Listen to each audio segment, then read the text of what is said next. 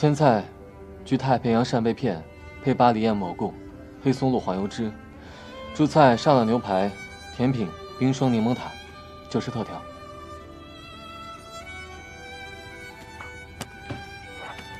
陈总为了提高紫金酒店的餐饮水准，可真是煞费苦心啊！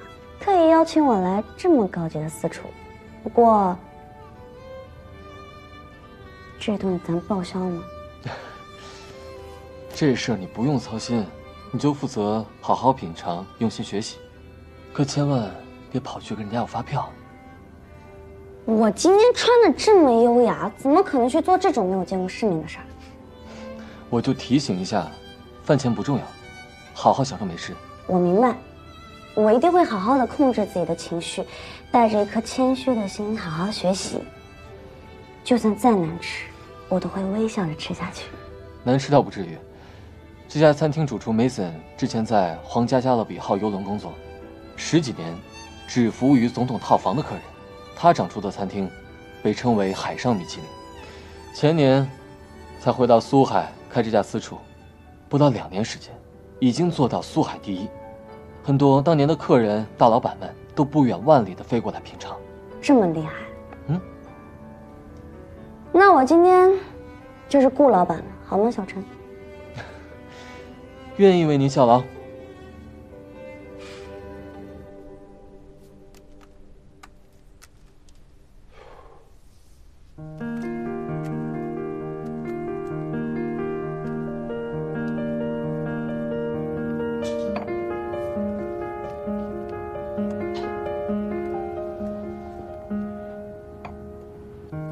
先生，这是本店今日的限量特调，谢谢。Thank you。来，尝尝。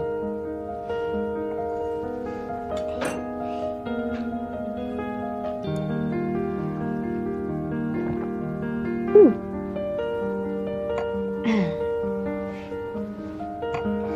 小陈啊，真该让酒水部的同事都来学习学习。其实紫金也可以做一些特调给客人们尝尝的。五星酒店跟私厨还是不一样，五星酒店讲究标准，但私厨没有标准，只讲究特色。不但菜品要有独到之处，就连装菜的盘子也要讲究，甚至桌子的高度、椅子的柔软度、灯光的明暗程度，乃至整个餐厅的装修风格，都得统一在一个特定的审美之中。意思是，如果我想开个餐厅的话，我还得先学室内装修。你想开餐厅？当然了，哪个厨师不想拥有自己的餐厅啊？要不然那个 Mason 在加勒比游轮，加勒比游轮都干到海上米其林了，干嘛要回来开个私厨呢？看来以后真得叫你顾老板了。早晚会有这么一天的。要是那个时候你被紫金开除了，你可以想着来投奔我，我会收留你的。这可是你说的哦。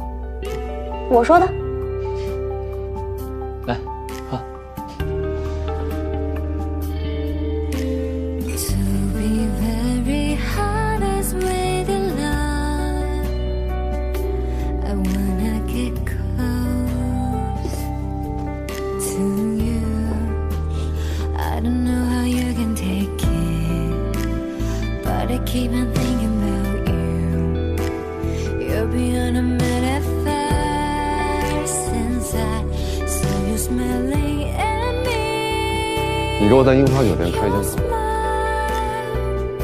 房啊！明天啊，不不不不，现在你跟我一起去，就这样。哎，换身便服。